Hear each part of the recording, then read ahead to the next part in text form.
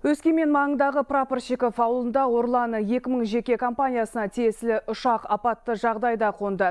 Алдын ала мәлімет бойынша санитарлық ұшағының бортында 5 адам болған. Барлығы аман. Өскеменнен Семей қаласына бағытталған әуе кемесі әуежайдан шыққан бойда апатқа ұшырағанға ұқсайды. Өйткені Прапорщиков ауылы дәл сол Өскемен халықаралық әуежайына тиіп тұр. Мән жайды қазір сол өңірдегі әріптесім Олжас Керейхан телефон арқылы баяндап беруге дайын.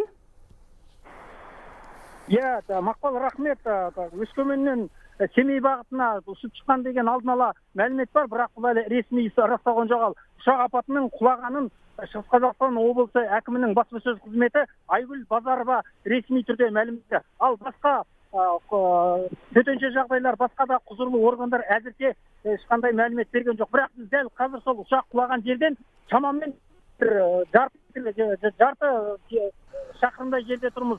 Жолдың бойы толық жабылған. Бұл негізі өскеменнен шемонайха бағытына бағытталған республикалық жол.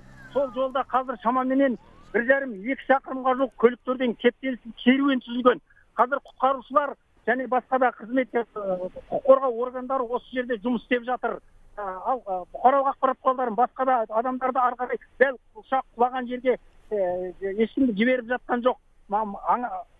Ұшақ құлаған жердің айналасы толық қоршалған. Әскери қызметкерлермен және полиция департаментінің қызметкерлеріменен. Ал ұшақ құлағаны көзімізбен дәл көріп тұрмыз. Ұшақтың алдыңғы қанаты алдыңғы бөлігі қарға кірген. Ал арт жағы қардан сорайып шығып тұр. Ал дәл ұшақта қанша адамның болғаны әзірге нақтыланған жоқ. Олардың денсаулығына қандай да бір зиян келді ме жоқ па ол туралы ешқандай ақпарат жоқ. Ал және өздеріңіз айтып кеткендей бұл прапорщиково ауылы өскемен қаласының шетінде ғана орналасқан. Ұшақ дәл мұсылман зираты және христиандар зиратының ортасына құлаған. Ұшақ құлаған жердің аумағы қалың қар қардан жаяу адым жүру мүмкін емес. Облыстық жаңағы әкімшілік және баспасөз қызметі алда толық ақпаратты туралы айтатын туралы нақты мәліметтерді қазір дайындап жатыр. Біз ұшақ апатына байланысты басқа да ақпараттарды алдағы шығарылымдарда міндетті түрде хабардар ететін боламыз. Мақпал?